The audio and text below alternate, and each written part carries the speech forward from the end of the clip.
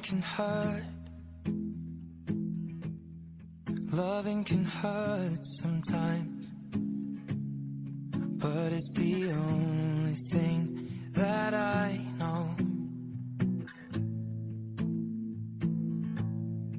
When it gets hard, you know it can get hard sometimes.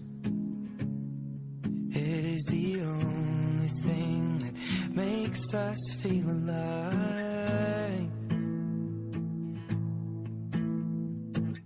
We keep this love in a photograph.